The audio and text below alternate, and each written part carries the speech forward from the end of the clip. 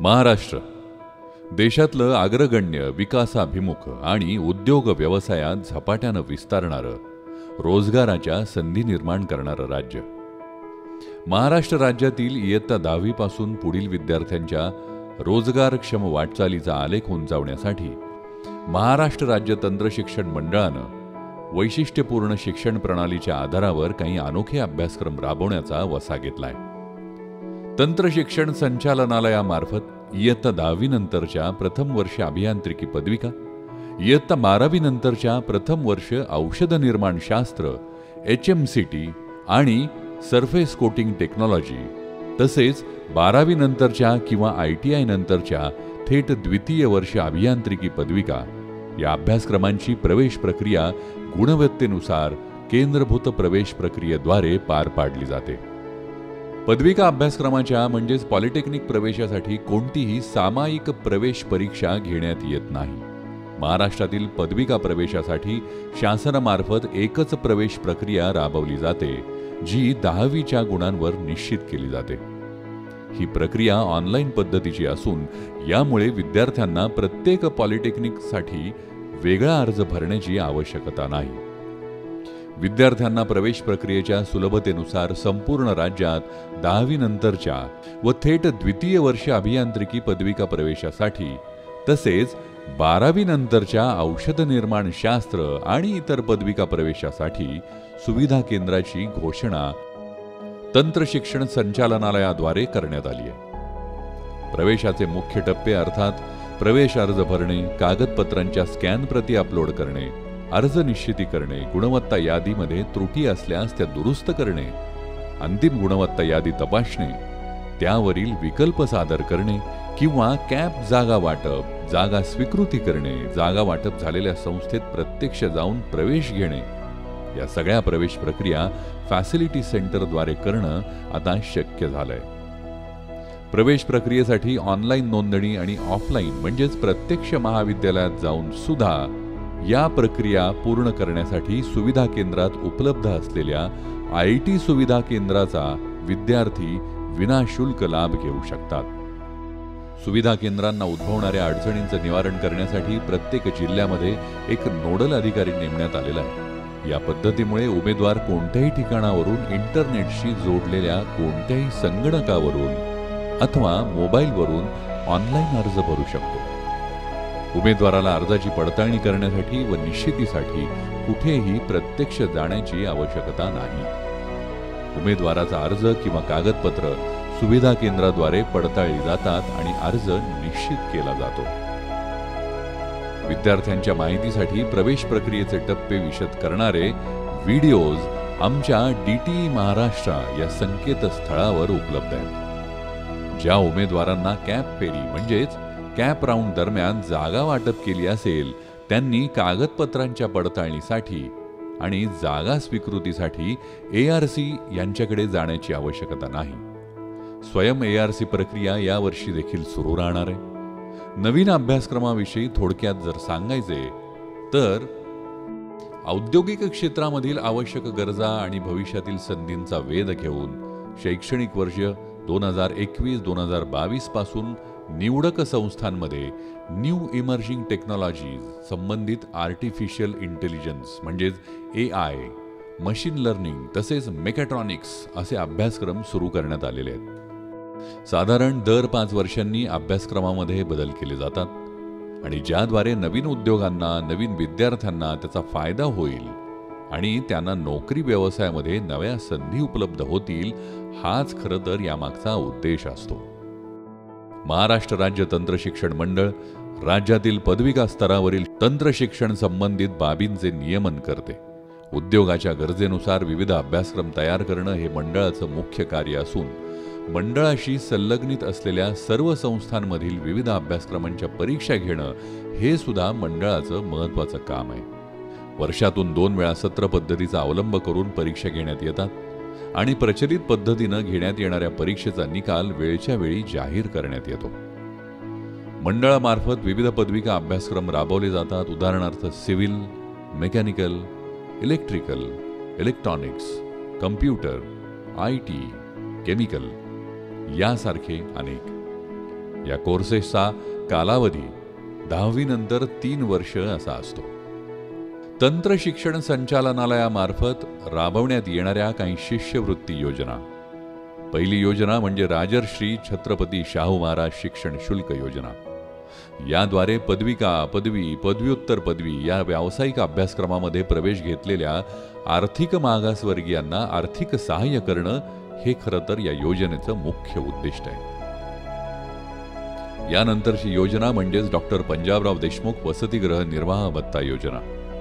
शासनाद्वारे स्थापन केलेल्या व्यावसायिक अभ्यासक्रमांमध्ये प्रवेश घेणारे शासकीय अनुदानित आणि संलग्नित महाविद्यालये किंवा तंत्रनिकेतनामधील ज्या विद्यार्थ्यांचे पालक अल्पभूधारक शेतकरी किंवा ज्यांचे पालक नोंदणीकृत मजूर आहेत असे सक्षम प्राधिकरणाद्वारे प्रमाणित केले आहे.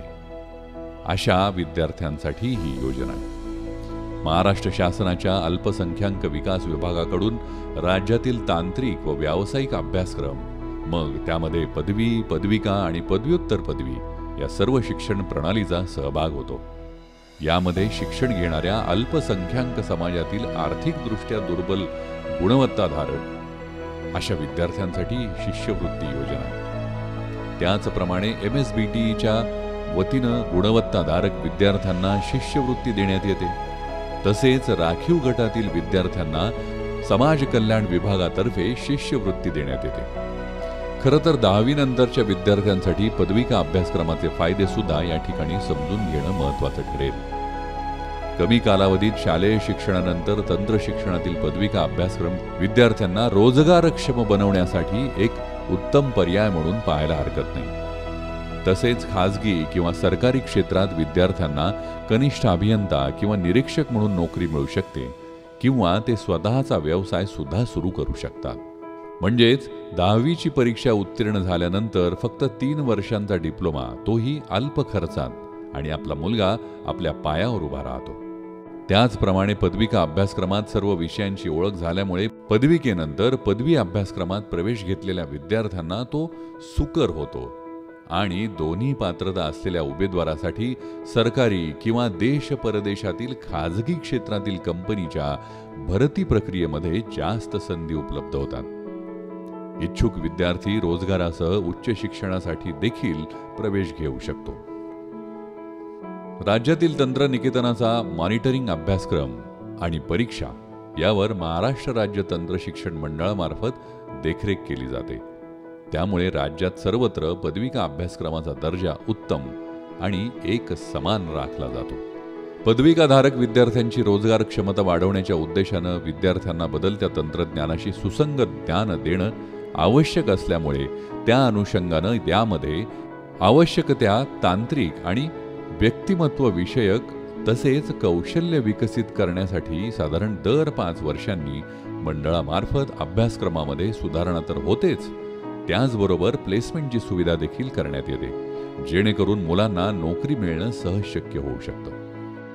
विद्यार्थ्यांच्या सर्वांगीण विकासासाठी मंडळामार्फत पेपर प्रेझेंटेशन क्विज कॉम्पिटिशन आणि प्रोजेक्ट कॉम्पिटिशन्स या राज्यस्तरावर आयोजित केल्या जातात. विद्यार्थ्यांसाठी अभ्यासक्रमात कौशल्य विकास आणि उद्योजकता या नवीन मुद्द्यांवर विशेष भर देण्यात आलाय. त्यामुळे अभ्यासक्रमामध्ये विद्यार्थ्यांना सहा आठवड्याचे उद्योगधंद्यातील प्रशिक्षण घेणं अनिवार्य करण्यात आलंय. तसेच प्रत्येक विषयात मायक्रो प्रोजेक्टचा अंतर्भाव करण्यात आलेला असल्यामुळे त्याचं मूल्यांकन प्रणालीनुसार करण्यात येतं. पदविका अभ्यासक्रमाच्या प्रवेशवाढीसाठी सुद्धा स्कूल कनेक्ट हा उपक्रम राबवला जातो. पदविका प्रवेशाकरता आणि संभाव्य विद्यार्थ्यांकरिता करिअर फेअरचे आयोजन करण्यात येते. त्यामध्ये मुख्यत्वे करून अभियांत्रिकी क्षेत्रातील संधी आणि पदविका अभ्यासक्रम पूर्ण केल्यानंतर उपलब्ध असलेल्या संधी तसेच विविध माध्यमांद्वारे पदविका प्रवेशाबाबत जनजागृती करण्यात येते. त्यासाठी संबंधित तंत्रनिकेतनाच्या प्राचार्यामार्फत संबंधित जिल्ह्याच्या जिल्हा परिषदेच्या शिक्षण अधिकारी शाळांचे मुख्याध्यापक यांच्या एकत्रित सभा आयोजित करून पदविका अभ्यासक्रमांच्या प्रवेशाबाबत जागृती करण्यात येते. नियमावलीची ऑनलाईन प्रवेश प्रक्रियेची थोडक्यात माहिती देण्यात येते. अभ्यासक्रम किंवा मायक्रो प्रोजेक्ट्स दरवर्षी नव्यानं ठरवली जातात. त्याचबरोबर इंडस्ट्रीयल ट्रेनिंग उद्योगांच्या प्रशिक्षणासाठी प्लेसमेंट अद्ययावत अभ्यासक्रम मायक्रो प्रोजेक्ट्स हे दरवर्षी नव्याने ठरवले जातात. अध्यापकांना सुद्धा मंडळामार्फत इंडस्ट्रीमध्ये ट्रेनिंग दिलं जातं आणि नवीन तंत्र आत्मसात करण्यासाठी संधी उपलब्ध करून दिली जाते. महाविद्यालयामधील अध्यापकांना एम एस बी टी एने पदविका अभ्यासक्रमासाठी तयार केलेले ई कॉन्टेंट तसेच राबविण्यात येणाऱ्या विविध आधुनिक शिक्षण अध्यापन शास्त्र याबद्दलची सुद्धा माहिती देण्यात येते. शैक्षणिक वर्ष दोन हजार एकवीस बावीसपासून यापुढील दरवर्षी प्रथम वर्ष अभियांत्रिकी पदविका अभ्यासक्रमाची अध्यापन प्रक्रिया इच्छुक तंत्र निकेतनातील अभ्यासक्रमाकरिता मराठी आणि इंग्रजी भाषेमध्ये म्हणजेच द्विभाषिक पद्धतीमध्ये राबविण्याचे निश्चित करण्यात आले आहे. आणि हा फक्त पहिल्या वर्षीसाठी म्हणून निवडीचा पर्याय तुम्हाला उपलब्ध आहे. इच्छुक विद्यार्थी मराठी किंवा इंग्रजी भाषेमध्ये शिकण्याचा पर्याय निवडू शकतात. विद्यार्थ्यांना रोजगारक्षम बनवण्यासाठी कौशल्य वाढवणं जास्तीत जास्त विद्यार्थ्यांना कॅम्पस इंटरव्ह्यू मार्फत नोकरी मिळवून देणं स्वयंरोजगारास प्रोत्साहन देणं अध्यापकांचे शिक्षण आणि प्रशिक्षण या महत्त्वपूर्ण बाबींबरोबर तंत्र शिक्षण संचालनालयामार्फत व महाराष्ट्र राज्य तंत्र शिक्षण मंडळामार्फत भर देण्यात येतो. कॅम्पस इंटरव्ह्यूमध्ये समाविष्ट असलेल्या काही companies Godrej and Boyce Bajaj auto Minda industries Tata motors Tata power आणि जॉन डिअर पुणे अशा काही संस्था मंडळाच्या वतीनं विद्यार्थ्यांसाठी शिक्षणाची कवाडं खुली करून देणं. नव्या भविष्याकडे त्यांना मार्ग दाखवण्याचं काम या सर्व शिक्षण प्रणालीमार्फत करण्यात येतं असंच म्हणावं लागेल. जय हिंद जय महाराष्ट्र.